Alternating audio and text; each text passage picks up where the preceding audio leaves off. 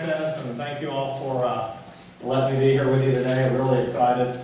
Uh, I think everything that Dennis said is absolutely right. As you all know, I believe that universities are the best place for innovation and entrepreneurship to begin.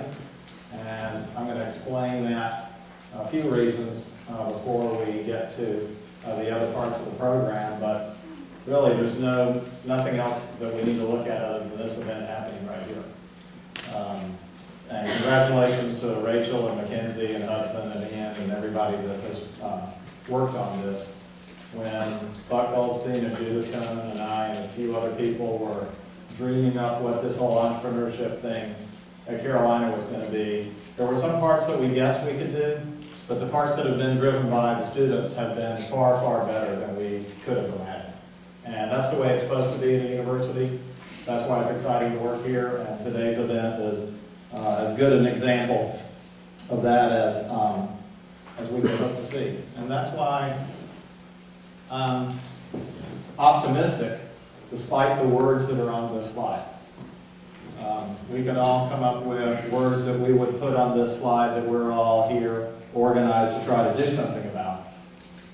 Uh, these are hugely challenging problems, but the optimism and energy that you're bringing to the university and the uh, advantages that we have built in here uh, for you over the last 200 years are going to make it possible for us to make some progress on some of these. And you saw uh, Mike Cohen's picture, um, and he has made dramatic progress against the worldwide problem of HIV and AIDS. And um, for those of us who were uh, a little bit older than the college students who are here, when HIV first uh, became a massive problem, it's, um, none of us thought that we would be where we are uh, when we're uh, by now.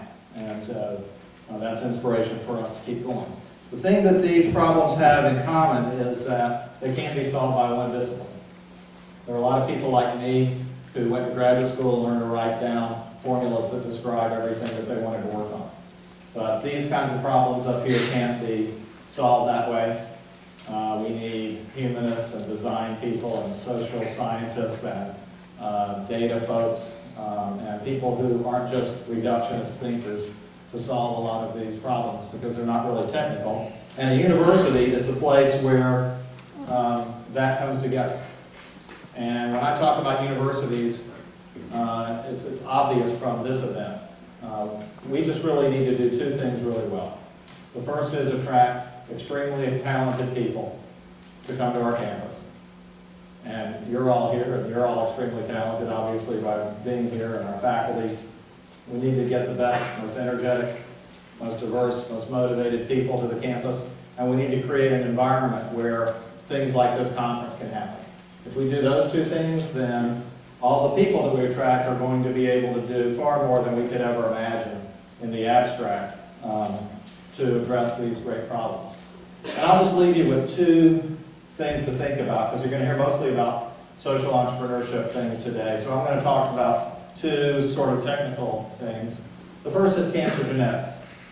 Uh, again, you know, th this depends on your perspective. A lot of us feel that the human genome was sequenced in its entirety a fairly short time ago, 12 years ago. Is that right? 12 years ago. But if you're an incoming college student, that's when you were six years old.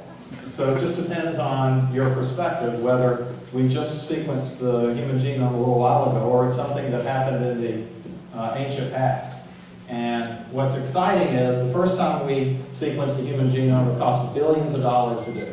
And we all sat around and waited for the day that it was there.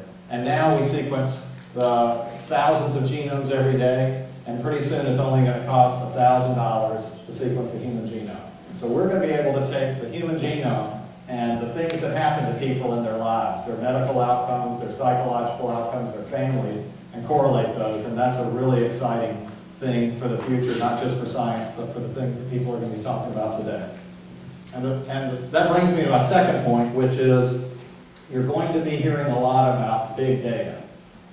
Um, the, the data that you generate when you're messing around with your phone, the records that you uh, generate when you go to the doctor or you buy something, uh, all, of the, all of that data is out there in the cloud somewhere. And we need people to analyze that. And Carolina is in a very, very strong position in this because we have uh, the number one school of information and library science. We have great social scientists who are good at processing gigantic data sets. And um, we have people who are motivated to use those things globally to address huge problems. So cancer genetics and big data, those are two things that I want you to think about. And my, uh, um, my sign is up here. So I'll just go back to this horrifying but inspiring slide. We've got big problems in the world, but you all are in the right place, doing the right things to uh, get excited and get the skills to go out and address them. Thank you all for what you're doing today. You're making the environment that we need here at Carolina to address these big problems work. Thank you all.